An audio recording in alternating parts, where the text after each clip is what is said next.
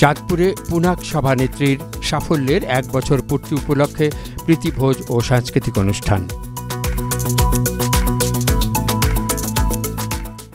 পুনাক সভানেত্রী সাফল্যের এক বছর পূর্তি উপলক্ষে প্রীতিভোজ ও সাংস্কৃতিক অনুষ্ঠান অনুষ্ঠিত হয়েছে চাঁদপুরে। আজ শনিবার দুপুরে নতুন বাজারে চাঁদপুর পুলিশ নারী কল্যাণ সমিতি পুনাকের কার্যালয়ে অনুষ্ঠিত এই অনুষ্ঠানে প্রধান অতিথি হিসাবে উপস্থিত ছিলেন police super Mohammad Milon Mahmud.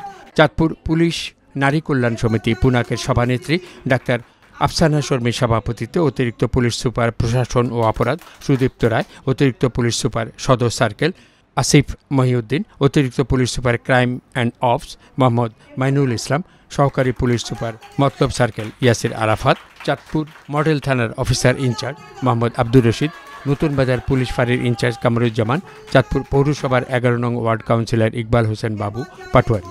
Chandpur police নারী কল্যাণ সমিতির অধ্যক্ষ শিপ্রা সাহার পরিচালনায় আর উপস্থিত ছিলেন পুনাকের সহসভানেত্রী পূজা দাস, সাধারণ সম্পাদিকা শাহিনা বেগম, দপ্তর ও অর্থ সম্পাদক ইসানা ইবা, সাংস্কৃতিক সম্পাদিকা ফারহিন তানিয়া, যোগাযোগ সম্পাদিকা প্রিয়াঙ্কা বড়ুয়া, সদস্য রোকসানা আক্তার, রোকেয়া সুলতানা, যোগাযোগ সম্পাদিকা প্রিয়াঙ্কা বড়ুয়া সহ আরও অনেকে। প্রথমে অতিথিদের ফুলেল শুভেচ্ছা জানানো হয়। এরপর পুনাক সভানেত্রীর সাফল্যের এক বছর পূর্তি উপলক্ষে কেক কাটেন অতিথিবৃন্দ। শাওন পাটোয়ারির পাঠানো তথ্য চিত্রের রিপোর্ট।